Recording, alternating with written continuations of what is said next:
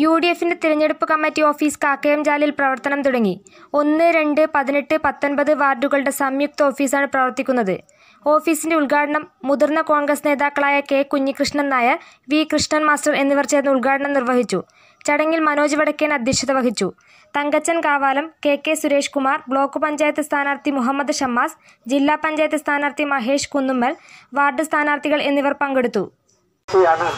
ഇവിടെ മത്സരിക്കുന്നത് നമ്മുടെ അഞ്ചു കൊല്ലക്കാലം പഞ്ചായത്ത് മെമ്പറും അഞ്ചു കൊല്ലക്കാലം പഞ്ചായത്ത് പ്രസിഡന്റുമായിട്ടുള്ള ഒരു വ്യക്തി ഇന്ന് ആ കോൺഗ്രസിന് വെല്ലുവിളിച്ചുകൊണ്ട് നടന്ന് പ്രചരണം നടത്തുന്നു എന്നുള്ളത് കേൾക്കാനിടയായി. അത് പറ്റി ഞാൻ അധികമൊന്നും പറയുന്നില്ല.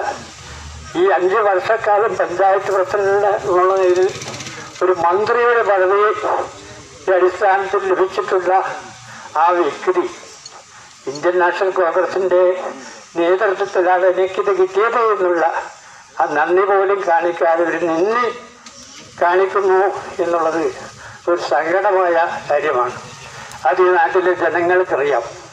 അവർ എങ്ങനെയൊക്കെയാണ് ഇവിടെ അവർ രേഖത്തിറക്കിയത് എന്നുള്ളതും ഈ പ്രദേശത്തെ ആളുകൾക്കറിയാം. കഴിഞ്ഞ പ്രാവശ്യം ഒരു പഞ്ചായത്ത് മെമ്പറായി. അപ്പോൾ നല്ലൊരു പ്രവർത്തനം കാഴ്ചവെച്ചതിന്റെ ഫലമായി ഈ വാർഡിലെല്ലാം അമ്പത്തിരണ്ട് ആളുകളും അന്നിവിടെ വാർഡ് കമ്മിറ്റിക്ക് പോയത് നമ്മുടെ മണ്ഡലം പ്രസിഡന്റ് കാവാൽ ഇവിടെയുണ്ട്.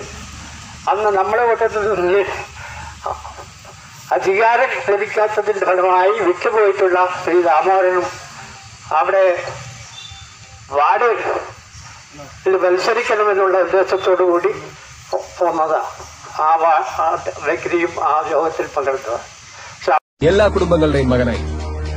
എല്ലാ സഹോദരങ്ങൾക്കും സഹോദരനായി. എല്ലാ കൂട്ടുകാർക്കും കൂട്ടുകാരനായി ഞാനിവിടെ ഉണ്ടാവും. നമ്മൾ ജയിക്കും. നമ്മളെ ജയിക്കും. കൂടുതൽ വാർത്തകൾക്കും വിശേഷങ്ങൾക്കുമായി ഞങ്ങളുടെ യൂട്യൂബ് ചാനൽ സബ്സ്ക്രൈബ് ചെയ്യുക.